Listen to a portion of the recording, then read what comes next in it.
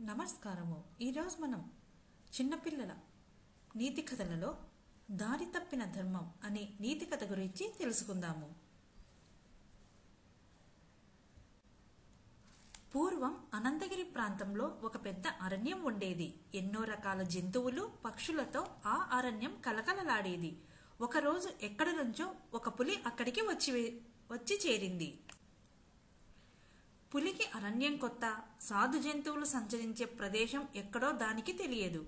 రెండు రోజుల పాటు పులికి వేటాడటానికి చిన్న జంతువు కూడా కనిపించలేదు. దానితో ఆహారం లేక అది నీరసించిపోయింది. ఆ సమయంలో ఒక నక్క అటువైపు వచ్చింది. నిన్ను ఇంతకు ముందు చూసినట్టు లేదు. నువ్వు ఈ అడవికి కొత్తగా వచ్చావా? అని అడిగింది. అవును మిత్రమా నేనుండే అడవిని మనుషులు ఆక్రమించుకున్నారు. అందుకే ఇక్కడికి వచ్చాను అని చెప్పింది పులి. కానీ గత రెండు రోజులుగా వేటాడటానికి ఒక్క జంతువు కూడా కనిపించలేదు. చాలా ఆకలిగా ఉంది అని అంది నక్కతో పులి. అయ్యో అలాగా?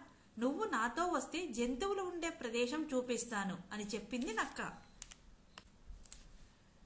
నక్క పులిని అడవి లోపలికి తీసుకుని వెళ్ళింది.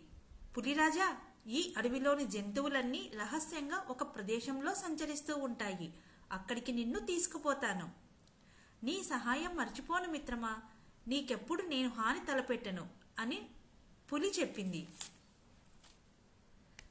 కాసేపటిలో నీళ్ళు తాగటానికి జంతువులు ఇక్కడికి వస్తాయి. వాటిలో దేన్నైనా చంపి నీ ఆకలి తీర్చుకో అని చెప్పింది నక్క.